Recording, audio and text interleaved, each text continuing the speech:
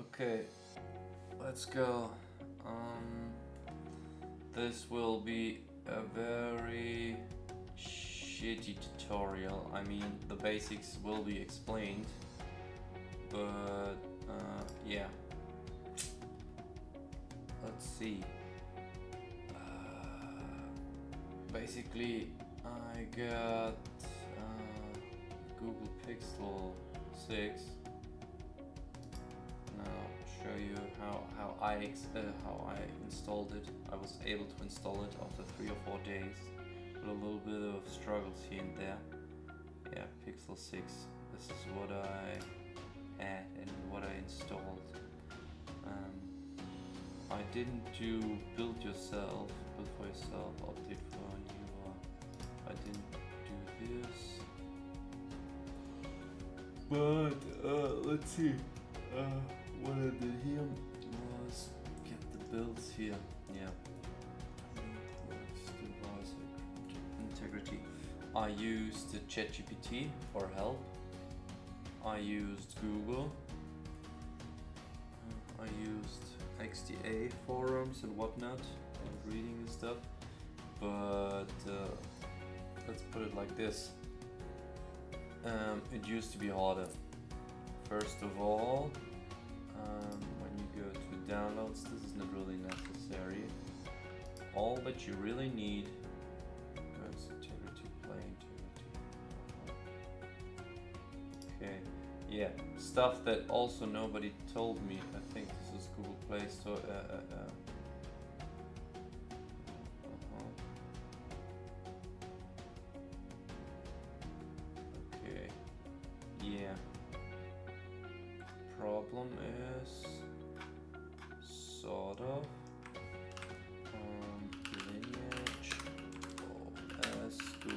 Play Store. I mean, a lot of people say. So far, I haven't used very much of this. I have like 10 minutes of experience with Lineage OS. What I've seen so far, I do like, but I also saw stuff like important.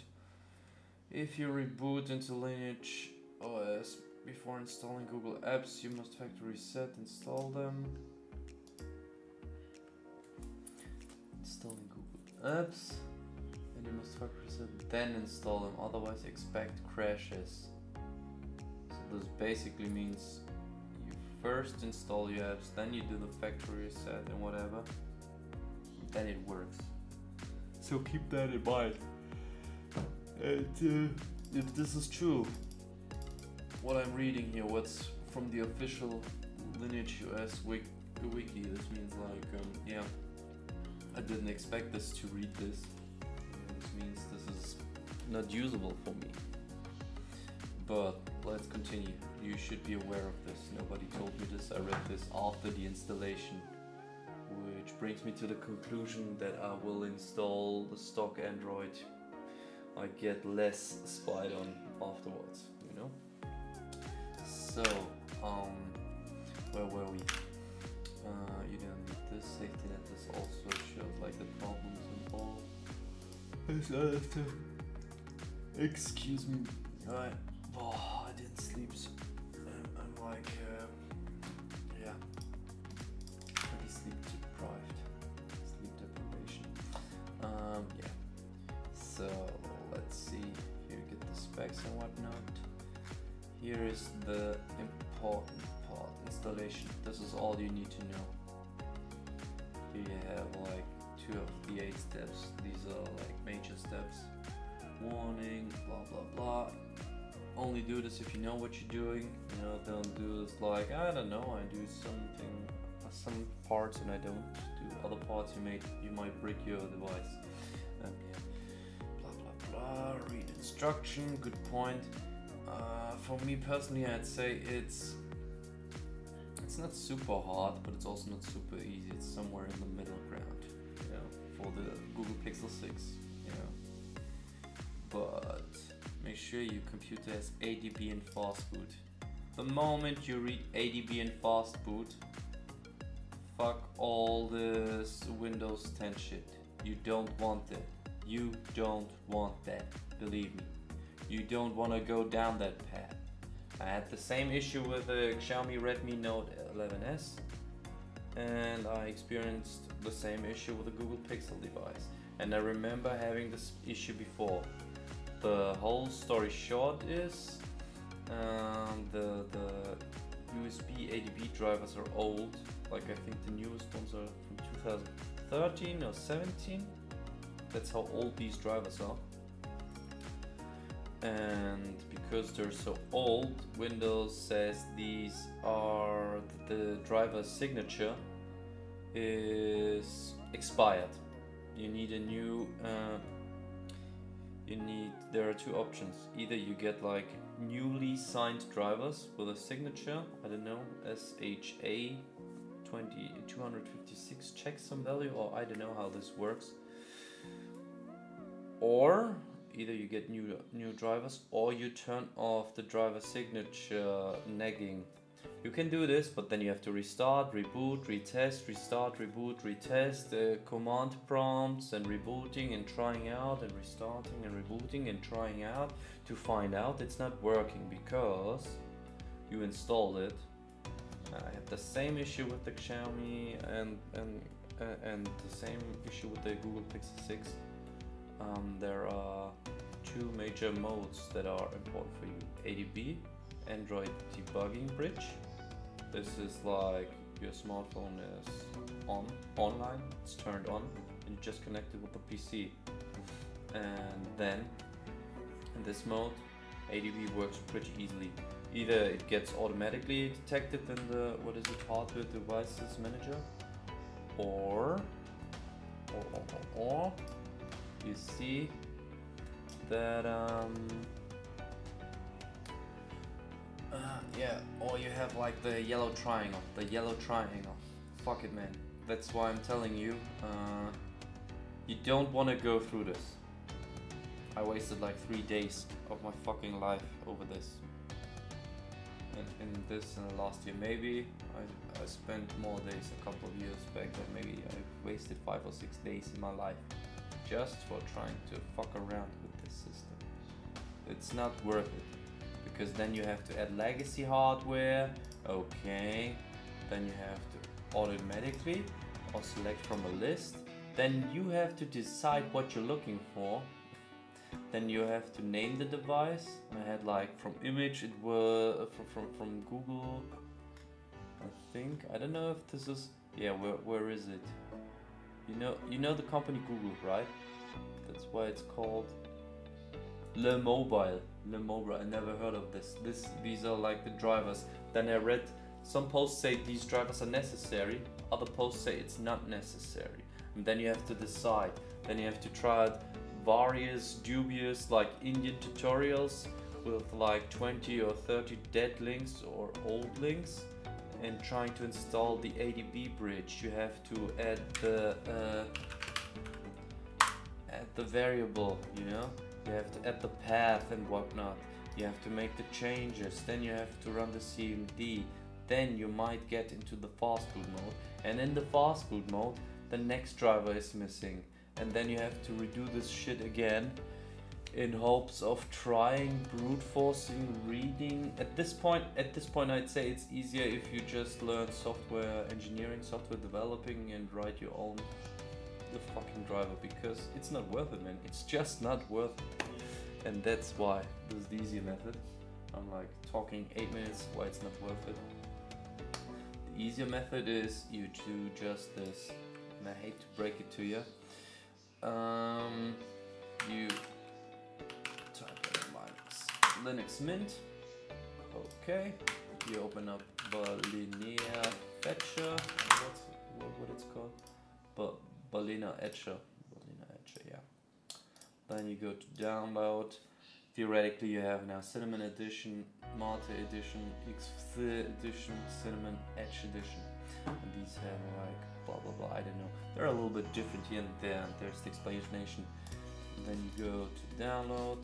What you do is download the torrent usually or you can download directly from the site I guess or, or, or is it only the torrent yeah, either way you download the torrent you download Balena uh, Etcher then you install it, and uh, I don't know. Uh, yeah, here we have it. I still have it installed. Let's close this shit. What you're doing is then select um, the ISO uh, file.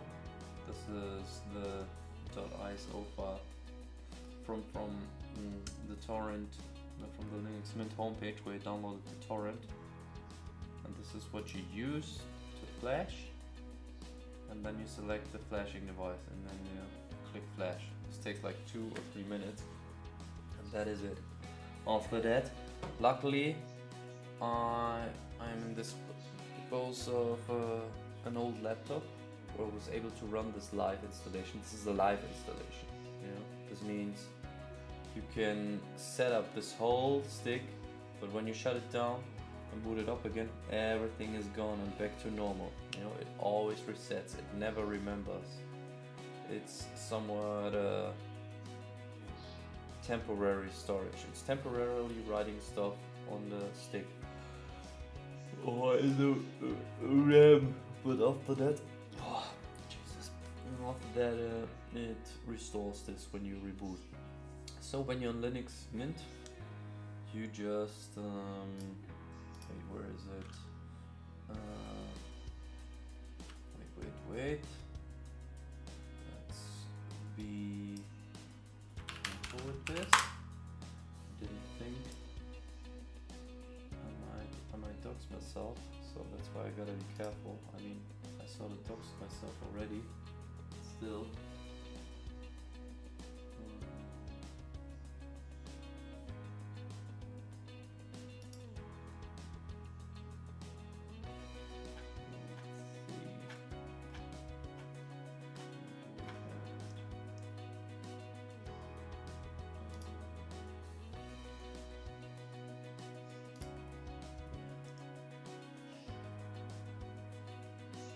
Because there are a couple of options.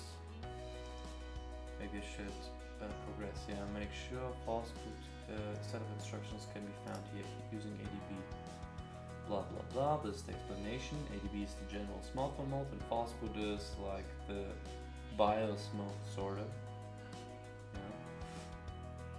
And you see like the various steps on Windows, you know, like five steps on also five steps open. Way shorter, way easier. It doesn't hurt so much, believe me. And uh, let's see. So this is just a side note, you know. Either you have a Mac or a Windows uh, Linux, but believe me, Linux was pretty awesome uh, in this regard. Okay, fast boot set of instructions can be found here you need Android debug bridge. Yeah, okay, you have the explanation. Comment on Windows. Download the Windows zip from Google. Nah, this was wrong. Download the USB drive here. And when you go to, okay, you can download, you can agree, okay, you can download the drivers for Windows. Then you go to install, this is all the steps you have to do, and then, then it still doesn't work. So that's why I go to Linux site, you know, to skip this whole process. Then, uh, let's see, where were we? Ah yes, we were at this spot. I asked in Reddit, Google Pixel not recognized, not not recognized in fastboot mode. Yeah, luckily in the normal mode it was recognized. Then this guy suggested, hey man, just uh, do a live CD, you know. Did. You, you have the explanation. All right, what's And after doing this, this is how you install ADB. You know? Just watch the video. And then, mhm, after all this is done, you know, you're able to progress to the next step. Previous step, yeah, everything works. Yeah, yeah, yeah, yeah. Next step, blah blah blah. Checking correct firmware. Be careful and read this stuff. ADB reboot into bootloader.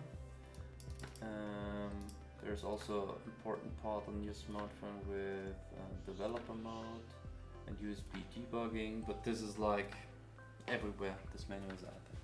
but you need this command and this command in the shell and then you should see your device with a serial number then you type in this and then Jesus Christ um, you get into the part where you flash this and that also via CMD you download it from here. This is where all the files are. You basically just need one chunk yeah. And you do this you flash this you read this you read that and that is it. Steps six seven eight are what you're gonna see now in the picture here in the picture you'll see uh, I typed in the wrong path either or the, the file name was too long but I think it was too long uh, path name. Then I sort of fixed it. I flashed like everything. I followed the instructions. You see asdf.zip this is lineage zip but I made a copy. It shot today I was able to flash it. The content stays the same just the package is renamed differently but this is not a problem because this is a way too long name to type in. Yeah and I typed in the command and uh, hit enter. And that is it. And after flashing and restarting and restarting and flashing and trying out you finally in a lineage.js I think this takes like two and a half or three hours time when you're like super experienced. Then you still have to wait and extract type in and flash. Maybe you can do it in one hour but this would be like a speed run this is how you flash the, your device